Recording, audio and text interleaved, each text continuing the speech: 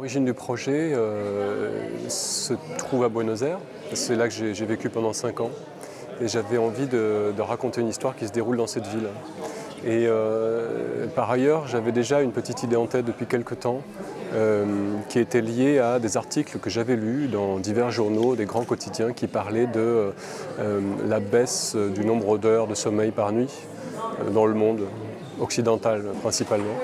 Et euh, j'ai essayé de, créer cette histoire, euh, une histoire euh, qu'on pourrait qualifier d'étrange ou disons catastrophiste ou catastrophique, et de la placer dans cette ville qui s'y prêtait bien, parce qu'il y a une ambiance très particulière à Buenos Aires. Et je voulais rendre aussi hommage à cette ville où j'ai été, été, très heureux pendant quelques années.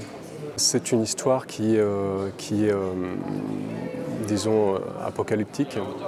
Et euh, je voulais montrer une apocalypse qui ne soit pas euh, spectaculaire, qui soit euh, plus intimiste, même si elle se passe dans une très grande ville et on voit les décors de la ville et, les effets sur la population. Mais je voulais montrer des personnages en action à l'intérieur d'un huis clos, presque théâtral, dans lequel les divers personnages s'influencent les uns les autres et essaient de comprendre ce qui leur arrive.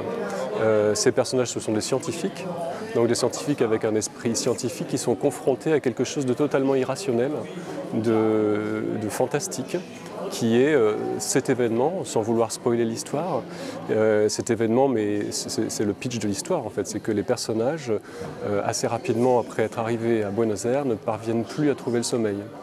Et, voilà, alors c'est ça que je voulais raconter, des personnages dans un, dans un, dans un huis clos intimiste, euh, sans effet très spectaculaire, mais avec l'interaction entre eux à l'intérieur d'un roman graphique.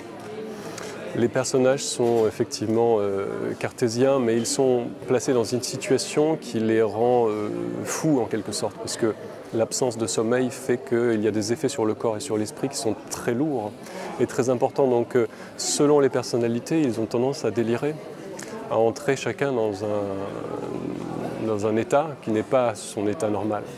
Et euh, alors il y, a, huit personnages en fait euh, de, nationalités diverses. Et euh, celui duquel je me sentirais peut-être le plus proche, c'est le personnage que je considère comme le principal, qui pourtant est une femme, Tamaris. Et c'est une franco-colombienne et c'est elle qui se trouve vraiment dans, une, dans, une, situation très difficile parce qu'en plus elle a, franchi l'Atlantique, elle a fait de longues heures de vol et, elle se trouve plongée dans cette ambiance très étrange.